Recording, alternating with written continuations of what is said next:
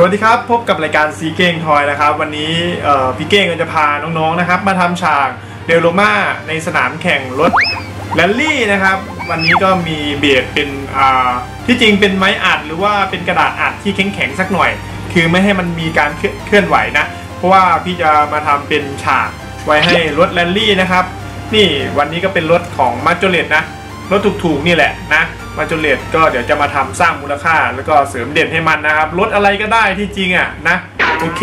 ก็ไม่อัดนะครับ แล้วก็เดี๋ยวเอามาพ่นสีดำเพื่อรองพื้นแล้วก็มาดูขั้นตอนกันวันนี้ทำง่าย ๆนะ หลังจากเราพ่นสีดำไปแล้วนะครับแฟลชแบ็กนะ นี่คราวนี้พื้นสัมผัสที่จะทำให้มันดูขรุขระนะครับ ก็ใช้หินโรยตู้ปลาแบบละเอียดก็คือนี้นะครับ แบบนี้เลยนี่ละเอียดสีดำเลยนะครับ ก็จะทำให้พื้นถนนน่ะมันสมจริงนะ แล้วก็อย่าลืมนะครับสเปรย์กาว ถ้าใครไม่มีสเปรย์กาวก็เป็นกาวเอ่อกาวลาเทก GOA ก็ได้ผสมน้ำแล้วก็ผสมเอ่อเข้าไปใส่ในกระบอกฉีดฟ็อกกี้แล้วก็ฉีดแล้วก็โรยเม็ดนะครับ อันนี้ผมก็เริ่มเอาปูนปลาสเตอร์มาลองวางละด้านข้างมันจะเป็นทางข้างถนนก็จะเป็นโขดหินนะครับเดี๋ยวจะมีตีเส้นถนนนะ ตรงนี้ก็จะเป็นถนนนะครับ แล้วตรงนี้ก็จะเป็นลักษณะเป็นโค้งนะ ก็เอาอะไรก็ได้ เอา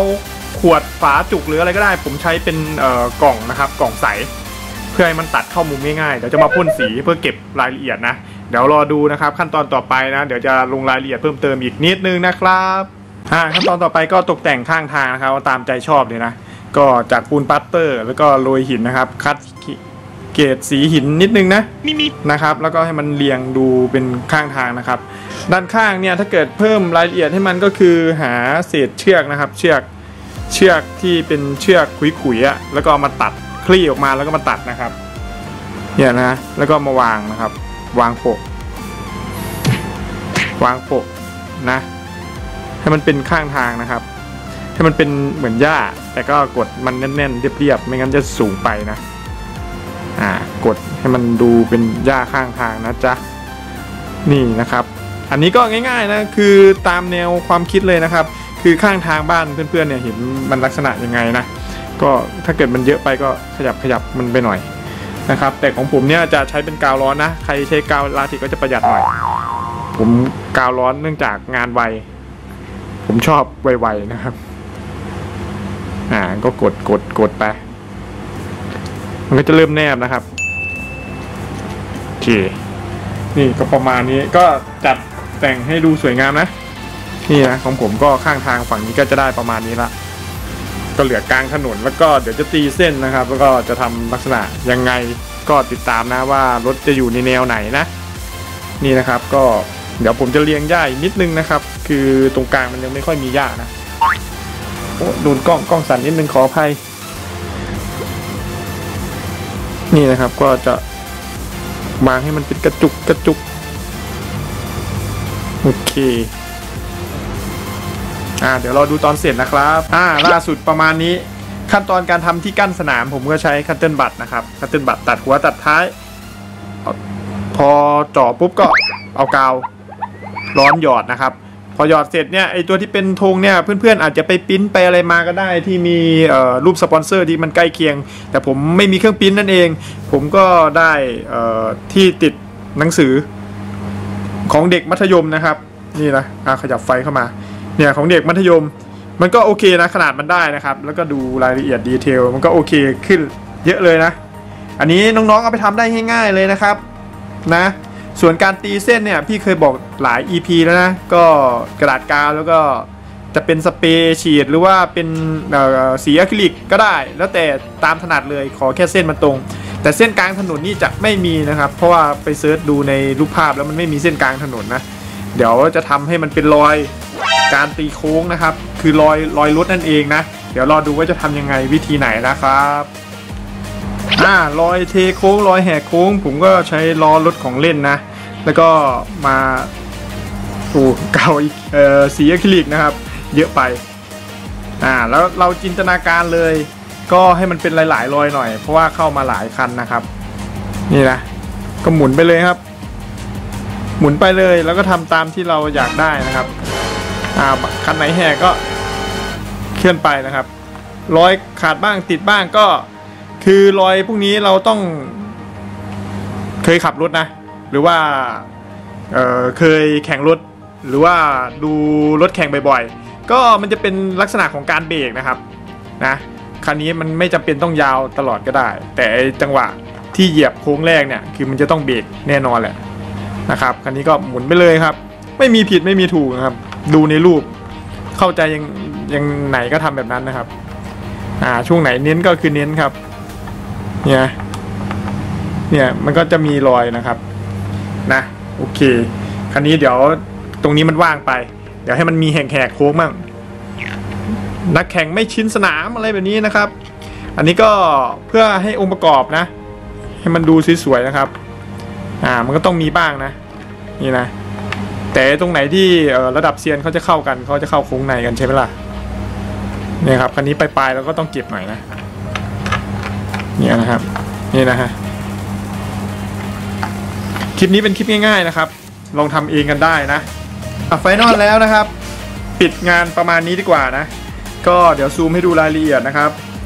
ตัวรถเนี่ยก็ไม่ได้ทำอะไรเลย เพราะว่าไม่ได้ดายบัตรไม่ได้อะไรนะ ก็ใช้ใยโพลีเอสเตอร์มาทำให้เป็นเหมือนควันนะครับ เพื่อให้มันมีความรู้สึกว่า รูปที่กำลังดูอยู่กำลังเคลื่อนไหวนะอ่าก็ประมาณนี้นะครับ ตรงนี้ก็เป็นกระถางต้นไม้เป็นสนามหญ้าเป็นอะไรแบบนี้นะ ก็เป็นขอบนะ ไม่ได้ทาแดงขาไว้นะครับ ไม่รู้จะทาทำไมก็ให้มันดู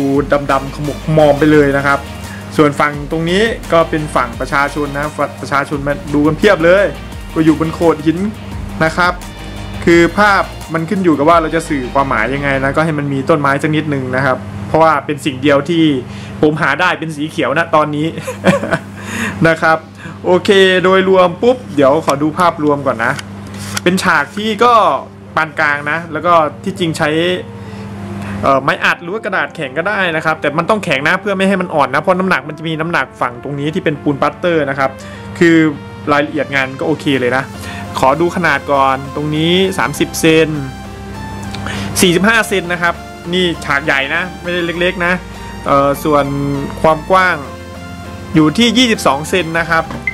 45คูณ22 นะ ก็ลองไปทำดูผมคิดว่าน้องๆ น่าจะทำกันได้ง่ายอยู่นะ ฉากนี้เพราะว่าอยากพาทำฉากง่ายๆบ้างนะครับ นี่นะ ก็คิดว่าทุกคนคงจะมีรถเหล็กกันเยอะแล้วล่ะ ก็ลองดูตามภาพจริงใน Google นะครับ ว่าให้อารมณ์ยังไงอย่างเช่นล้อเวลาเบรกก็จะมีควันขึ้น แล้วก็มีลายของการเบรกของคันก่อนหน้านี้มานะนี่อะวางพี่กระทิงอีกคันนะเนี่ยถ้าเกิดเราวางโดยที่ไม่มีควันอยู่ มันก็จะเป็นเหมือนรถจอดอยู่เฉยๆนะครับ มันต้องมีใยโพลีเอสเตอร์นะ มาขยายขยายให้มันดูแบบ โอ้โหกำลังซิ่งเลยนะ ฉากนี้ผมว่าเดี๋ยวจะเอากระทิงใส่ดีกว่านะ เดี๋ยวหาป้ายโฆษณามาเพิ่มก็เป็นครั้งต่อไปที่จะทำต่อนะครับ น้องๆลองทำดูเดี๋ยวทิ้งไว้ท้ายคลิปจะมีภาพสวยๆจากการถ่ายรูปนะว่าเออโอเค ไปอยู่บนแสงธรรมชาติแล้วเป็นยังไงนะครับ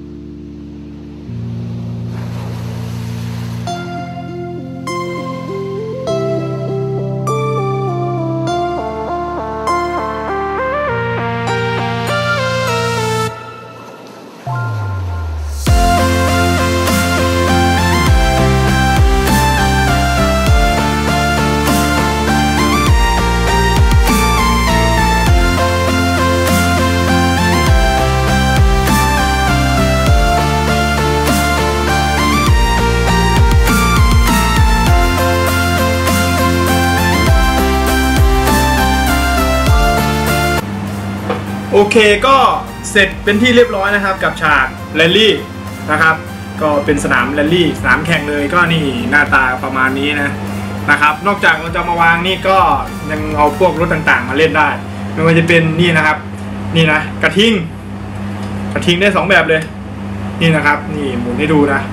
โอเคนะก็ถือว่าเป็นงานที่สร้างสรรค์เองได้ง่าย ๆ นะครับน้องๆลองไปทำตามนะเพื่อนๆลองไปทำตามนี่หรือว่าจะเป็นรถบัสดิฟ นะอย่าลืมใยโพลีเอสเตอร์นะครับเพราะมันจะทำให้ภาพมันดูมีชีวิตแล้วก็ภาพมันเคลื่อนไหวได้นะครับ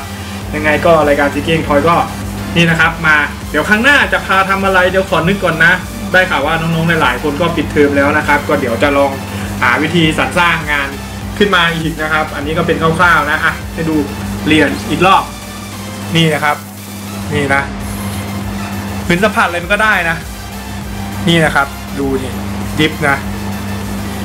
ดี๋ยววันหลังจะทำดิฟลงจากภูเขาบ้างนะนะครับ อันนี้ก็เป็นคร่าวๆของซีเก้งทอยที่ทำให้น้องๆเห็นใน EP นี้นะ EP ที่ 30 แล้วโอ้ทำไปทำมานี่ทำมาถึง 30 EP แล้วหรือเนี่ยนะครับ ถ้าชอบถูกใจก็กดไลค์กดแชร์นะครับ จะได้หาไอเดียใหม่ๆมาให้ทำอีกนะ มาลองทำตามกันดูนะครับ แล้วก็ทำเองกันได้ง่าย ๆ นะครับ วันนี้รายการซีเก้งทอยก็ลาไปกับนี่นะครับหูหูฉากแรลลี่รถแรลลี่นะ ใส่กับรถเหล็กได้นะครับ อย่าลืมกดไลค์ กดแชร์กด Subscribe ให้ช่องซีเก้งทอยด้วยนะครับ เดี๋ยวเสาร์อาทิตย์หน้าก็จะมีมาอีกนะ วันนี้ก็ลาไปก่อนนะครับ สวัสดีครับหมุนอีกรอบวู้อย่าตกนะเว้ยฉากเบานะ ไม่หนักเลย